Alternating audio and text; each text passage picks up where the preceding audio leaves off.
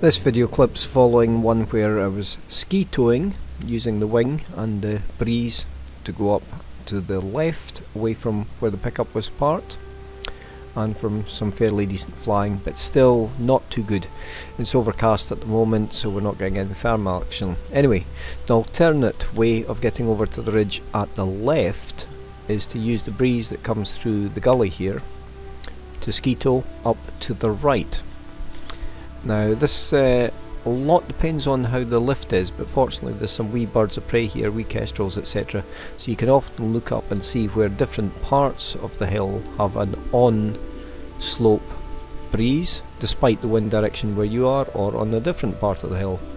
In this particular time of the day we didn't have any kestrels up but uh, I'd done several flights off to the other side so I thought well use the ski tow method to get up here. It's speeded up as you can probably gather. The actual time to take to get all the way up to the top using the wing was just around about 3 minutes. So even on a very light breeze day like today when you can't just fly up, it does not take long and certainly a lot less effort than carrying the paraglider up. So I'm constantly looking around checking the airspace and as mentioned on other videos the camera view, even with the wide angle lens on this, the camera view is a lot narrower than you get with the view on your eyes. So when you're looking round, you really are looking around much more. And one of the things I tend to avoid with the camera is looking straight up because it messes with exposure. Obviously, flying site, you want to be checking for anybody that might be flying above you. So, step the wrong way and launch to jump the gap. The main aim being here is to fly across and with lighter conditions and no sun on the immediate hill you're just aiming to land reasonably high up on the cattle track that goes up the top of the ridge. Essentially it's to the, the lower hill which is a good south face, southeast is not too bad and it's got a very nice east face as well which uh, was only just using a little bit, it's more the thermal off the top earlier on. And touchdown. Keeping the wing flying, step the wrong way.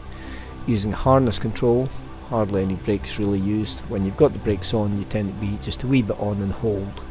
And that's because because it's a relatively low rated wing, although this particular one is also 24 years old. So it was uh, from 1992.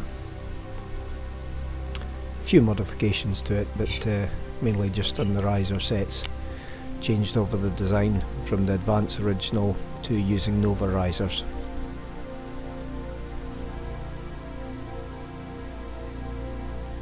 So it's not a video with lots of great flying, it's really just showing you ground control.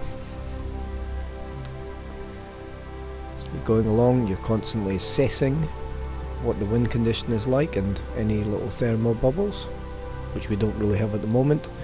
Looking at the slope, trying to decide go for the high ground, glide across wee hollows to go forward or just continue along. And every so often the wind conditions, physical position, shape of the slope and the hill in front will be just right and you'll just see going back to normal real time and little glides. Tiptoe, tiptoe, tiptoe. No committed launch, you do not want surge and dive just gliding across, gliding across, coming in, touching down, tiny bit of brake if necessary, and then back to the harness control to walk along the next bit. And again, step the wrong way, get the wing rolled, get the wing doing the work.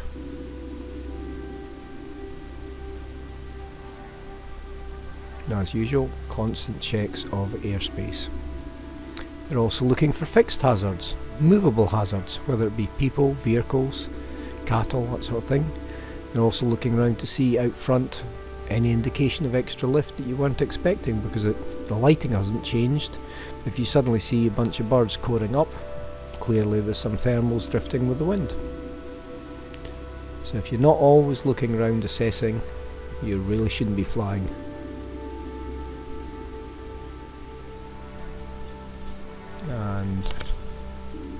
Again tiptoe tiptoe we glide across the top. So I don't know whether it was a hundred years ago or whatever, but there was quite a lot of little bits of quarrying on top of this hill. So there's lots of little dips, wee rock piles. Sometimes you just use the wing to walk round them, sometimes it's easier just to fly over them.